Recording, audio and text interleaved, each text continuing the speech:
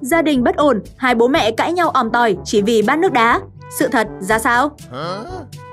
Một cô gái nghỉ hè về quê thăm nhà, lòng đang khấp khởi vui như mở hội, chạy như bay về ngôi nhà thân thương. Thế nhưng, vừa mở cửa ra, cô bắt gặp ngay cảnh tượng ông bà bố đang cãi nhau òm tỏi. Hỏi ra thì mới biết, bố cô không biết nghe thông tin từ đâu mà lại lấy một chiếc bát tô, đổ đầy nước rồi cho vào ngăn đá. Sau đó khi đá đông lại thì cho xuống ngăn mát.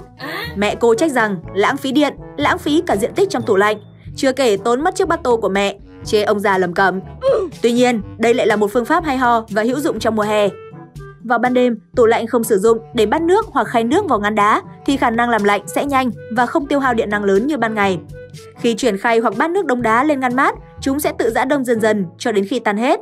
Từ đó cung cấp khí mát mà không cần phải dùng đến điện để làm mát ngăn bảo quản này. Lặp lại cách này hàng ngày thì tủ lạnh sẽ không phải tiêu hao quá nhiều điện năng. Một lợi ích khác, trong quá trình giã đông ngăn mát, bát nước này cung cấp nước tươi cho thực phẩm, khiến rau quả không bị khô héo, đỡ bị mất nước, duy trì được độ ẩm tươi ngon, kéo dài thời gian bảo quản và đạt được mục đích cao nhất là làm tươi thực phẩm trong thời gian dài hơn. Sau khi con gái đứng ra phân xử, phần thắng đã thuộc về ông bố.